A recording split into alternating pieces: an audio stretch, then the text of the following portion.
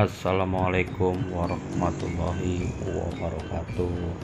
Apa kabar teman-teman semua di mana pun kalian berada? Semoga dalam keadaan sehat walafiat Tiada halangan suatu apa pun.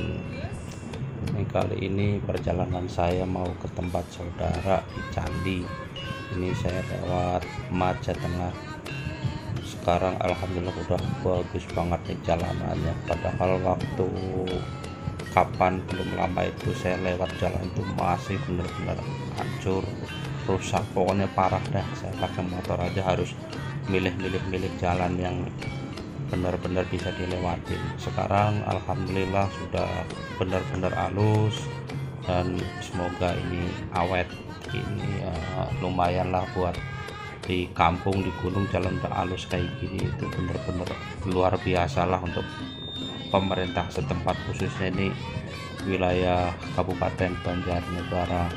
Dan Alhamdulillah sekarang semenjak ya gimana ya bisa dibilang semenjak Bupati yang sekarang Banjarnegara ya mungkin belum menyeluruh tapi mungkin ya 80% di setiap daerah mungkin udah diaspal semua dan alhamdulillah benar nih jalanan dulu tuh hancur benar-benar hancur dan ini kanan kiri itu pohon salak ya teman-teman.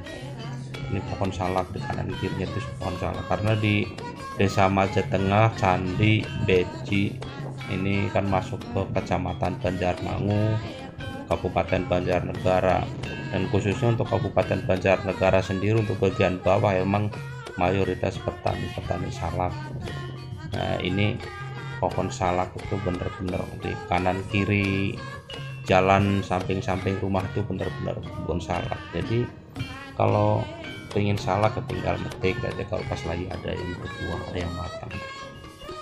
Dan ini desanya juga lumayan ya sepi kayak gini lah namanya. Lagi musim-musim seperti ini orang juga jarang pada yang keluar paling kalaupun keluar paling ya ke kebun seperti bapak pengendara motor ini di depan juga.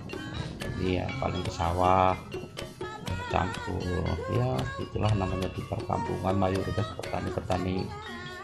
Kalau nggak di sawah ya kebun di salak.